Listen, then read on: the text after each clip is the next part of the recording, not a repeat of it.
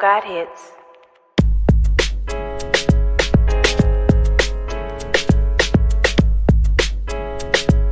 Hey everyone, and thank you so much for joining me today on my YouTube channel. I'm your girl, Robin Nicole, the inspiration specialist, and I'm wired to inspire you to live your authentic purpose.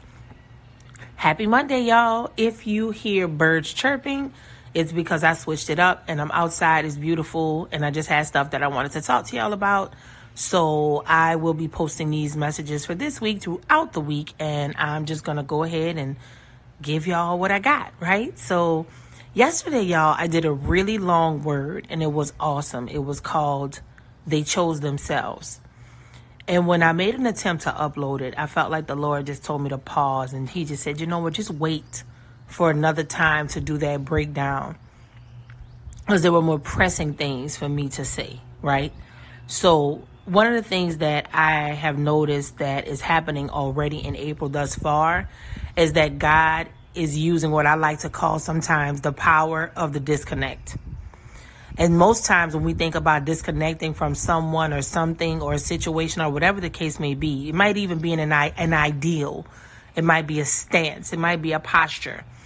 Disconnection can often feel like you are lost or you know you just kind of feel like well i didn't plan to do that so so what what does this mean for me god right and something that I want you to realize about when God allows you to disconnect is that if the Lord is leading you to disconnect, then the disconnect is not actually a disconnect in a negative sense, like you're not connecting to something good or you're not continuing in something that God deemed to be blessed.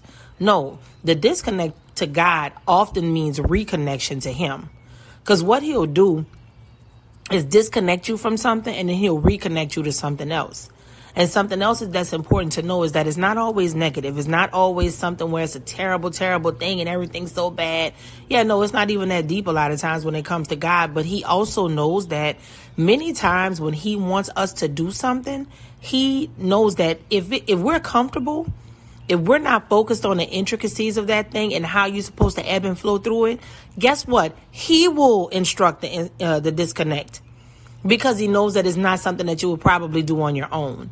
And I think it's really important that you hear me in this space when I say this because the root word is connection. God is working on our connections. And the biggest connection He's working on right now is our connection to Him. I know we want divine connections. We want to meet people. We want to get things done. We want to do all of these things. But I genuinely believe the connection that God is speaking of right now is about us being divinely connected to Him. I cannot say this enough. Please, please, please spend more time talking to God. Spend more time sitting in His presence.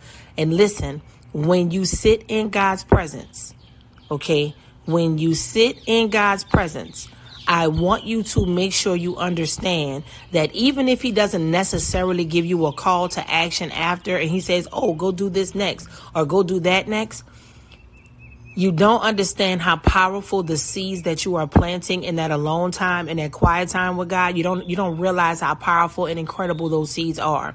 Because like with any seed that we plant, especially when we plant it in good soil, it will reap an incredible harvest.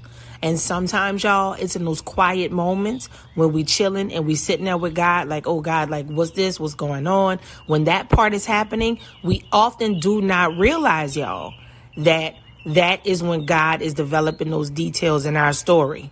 Hear me out. We talk about the devil being in the details, but I say this all the time. God creates the details because he's the author and the finisher. But the enemy will just jump inside of him and he'll just try to manipulate and do whatever he wants to do in the midst of what God has already ordained and in the midst of what God has already said. So, this is a quick little message today, but it is important that you understand that this time right up in here, this focus, this is about you getting connected to God. So if that requires a disconnection first, then a reconnection next, so be it. Your focus is not on the people, your focus is not on the, the opportunities, your focus is not on the place.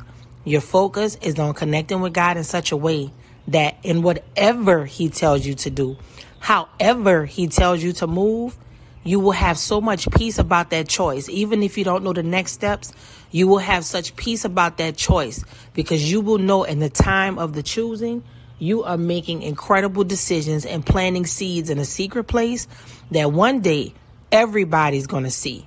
People are going to be able to look and see this is what this person has been doing when nobody was looking.